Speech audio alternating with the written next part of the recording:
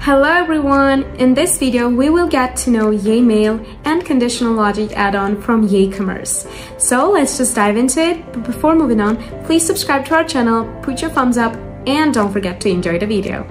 So this is Yaymail's uh, main dashboard and in this part we can see that the admins panel is hidden which gives the users the opportunity to concentrate on Yaymail dashboard and its tools better.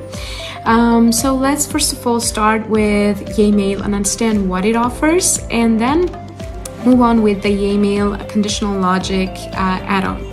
So in this sidebar, we can see the main tools and features that this um, uh, offers. And in this element section, we can see the basic, uh, general, WooCommerce, and blocks sections. And now let's explore them individually and understand what uh, this plugin and add-on offer. In this basic section, we can see that we can add logos, email heading, buttons, and let's try some of them out. For example, this logo, we have already one here. Um, I just wanted to show how easy it is to uh, add and remove. So it has the drag and drop functionality, which makes it easier for the users to, like, it's just a couple of clicks away to add this and then unAdd it again. And also we can add buttons, for example, here and change the writing here. For example, let's say contact us and you should also insert your URL here. Uh, then we can add the title or social media icons, for example, Instagram, Facebook, or other social media platforms. Um, also the text list, and when we click here, um, we can uh, simply edit it from here and uh, we can see the formatting, plenty of them, everything you need. And then you can also add a video or an image. In this general section, you can see some general stuff. For example, if the picture and the text are too close, then you can add some space here. And you can also modify the height, also uh, the color you can also choose a divider between them or the columns. You want it to be one, two, three, or even four columns. In this WooCommerce part, we can see that we can add shipping and billing addresses. We have them here. Also, order item. We have it here again, and it's like easy to add it. Everything you need is here. Then in this blocks, you can add featured products, simple offer, and banners. For example, when you add it, you can see it here, and again, you can uh, change it here and choose the colors that you want. And that's uh, it from Yaymail. Uh, it's very easy to customize and get the email letter that you want. And when you click here on preview, you can see it the way your recipients would see. You can also give desktop and mobile preview and see what changes you need to make better. To create our first conditional logic, let's at first create a coupon code. For this, we need to go back to our dashboard and from this marketing section, choose coupons. And then add coupon and in this part, we are writing our coupon code, which let's say is follow for more. And then uh, we are choosing the discount type. Um, in our case, it is percentage uh, discount.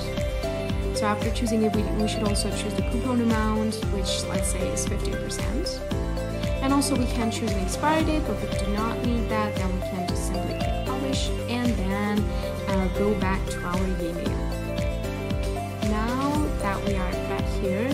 We are simply um, creating our coupon uh, block here. For this, we are adding the text and we are adding thanks for being with us. And then also uh, we're going to add the um, coupon code here.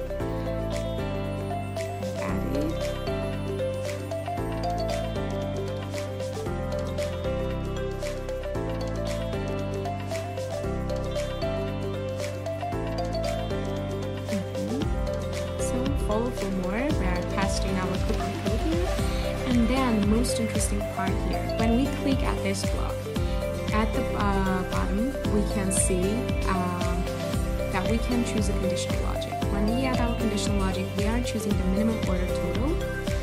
And uh, let's say if our customer has done a, a purchase uh, that is over 500 euros, here can see our currency, um, then this uh, block will be will be displayed for them. But if they are not, uh, for example, surpassing the 500 euros uh, benchmark, then this uh, block will simply not be displayed for them. For our next conditional logic, let's say it has something to do with the country our customers live in. So, uh, for example, we have an offline event and we want uh, this uh, description part display only for people who live in the US. For this, we create a um, an offline event here. So we are simply deleting this and pasting our event details here. So it says living in the US. Don't forget to join us for our second store branch opening to get many gifts. So obviously this cannot be for the customers living abroad. So um, we are clicking on this. And we are going down. And in this add conditional logic part we choose display if uh, the billing country is uh, and we are choosing here uh, US because our event for only US citizens um, and people living in the US um, so let's choose US here and now this block will be displayed only for those people whose billing address is the United States. And now let's create a conditional logic about the payment methods. So let's say we want to boost our online sales. And for this, we offer 15% discount for those people who purchase things online. So for this, we are creating a um, new block. And we are adding our offer here. And simply pasting it so get 15% off when buying online. So uh, now when we click on the block, we go down and in this add conditional logic part, we choose our um, um, conditional logic type. We are choosing payment uh, method. Uh, then we are choosing our uh, payment method type. We are choosing uh, cash on delivery. Um, so this block will only be played for those who are mentioned that they will pay cash on delivery. And for their next purchases, they most probably will do their uh, purchases online. That's it guys, I hope you liked the video. And if you have any other conditional logic ideas, don't forget to drop them in the comments and we will definitely test them out. Thank you, bye!